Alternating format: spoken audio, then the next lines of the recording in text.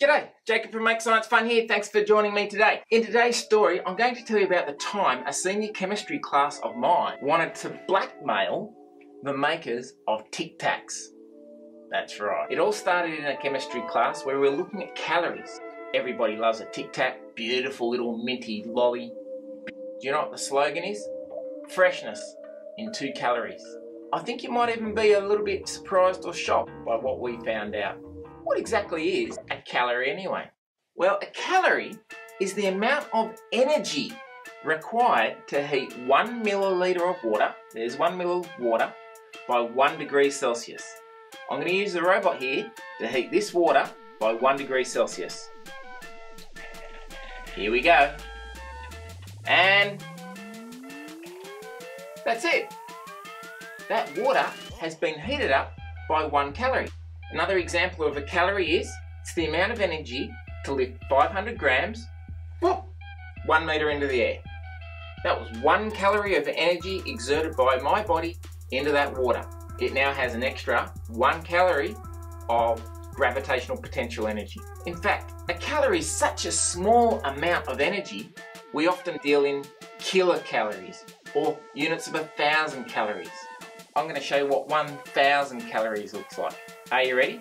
There's a litre of water here and I'm going to heat it by 1 degree Celsius. So this is a 1,000 calories. 1 and 2. There we go. I just, I just heated this water by 1 degree Celsius.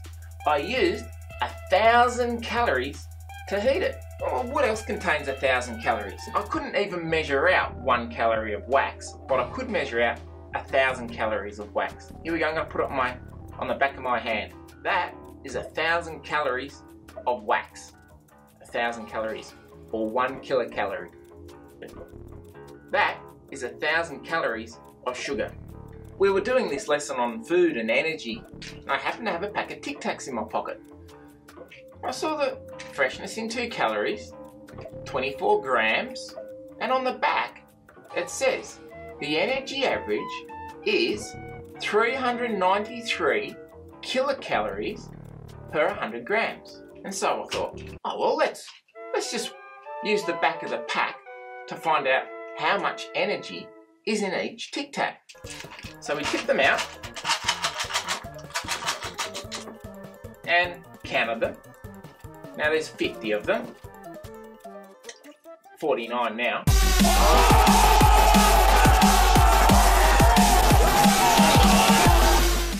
And so with a very simple calculation, when 50 of them have a mass of 24 grams, now if the energy content is 393 kilocalories per 100 grams, well that means for 24 grams, there's 94 kilocalories. So there's 94 1,000 calories for the 50 Tic Tacs. That means each Tic Tac, according to the back of the packet, has got an energy content of 1830 calories. Oh, we must have made a mistake. So we recounted them. We rechecked the values. But we did it over and over and over. Each time we came up with the same value. 1830 calories per Tic Tac. But the packet says that there's only two calories in each Tic Tac. What were we to do? So, we looked and there it said, toll-free consumer hotline. We all gathered around the speakerphone and the class was like, yeah, let's ring them up. And let's tell them that if they don't send in boxes and boxes of Tic Tacs, we're going to go straight to TV. I said, you can't blackmail companies. Let's just see what they have to say. So anyway, we rang them up and I, I went through the calculations with the, the person at the end of the phone Anyway, to his credit, he said, leave it with me, leave it with me. So I left it with him. The next day, I'm waiting by the phone. Ring, ring, ring, ring. Oh yeah, g'day, g'day. Okay. All right. What? That's that's unbelievable. I don't believe it. Ah. You're not going to believe this. As it turns out, in Australian standards, the word calorie is spelled with a capital C.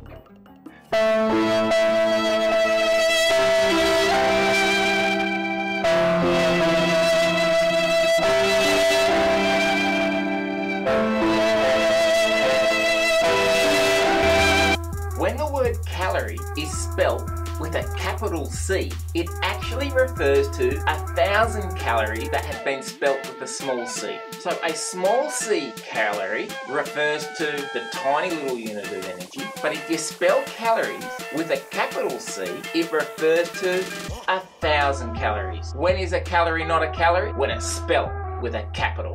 I could not believe that. But upon further research, it's true. Which is probably why in Australia, we actually don't use calories, we actually use joules as our standard of energy. Anyway, thanks so much for joining me today. That was a, it was certainly an enlightening experience for me. And uh, please stay tuned for more episodes. Please feel free to send in your comments, even subscribe, and I'll be seeing you soon. Bye for now. For a weekly video, please click the Make Science Fun logo below, and I'll be seeing you soon.